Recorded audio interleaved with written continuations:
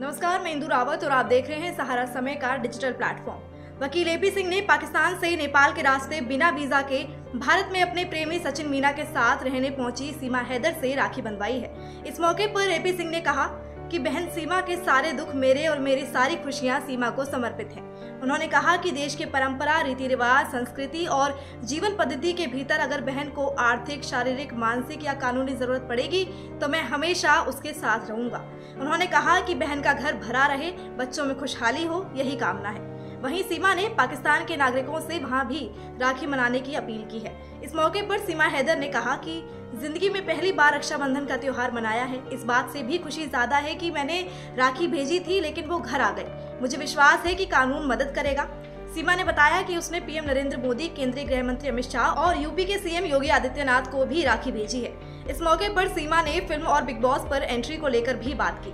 सीमा ने कहा कि बिग बॉस से ऑफ़र नहीं आया है। बाकी बातें वकील बताएँगे। सीमा से राखी बंधवाने के बाद वकील एपी सिंह ने भारतीय नागरिकता के बारे में कहा कि उस पर बाद में सीमा से विचार करेंगे। आज बहन को आशीर्वाद देने पहुँचा हूँ।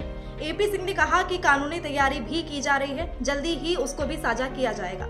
एपी सिंह ने कहा कि सब कुछ समर्पित रहे, ये कच्चा धागा याद दिलाता है कि बहन के सारे दुख मेरे हैं। उन्होंने असामाजिक तत्वों को मैसेज देते हुए कहा कि वो भी रक्षाबंधन के त्योहार से सोचे।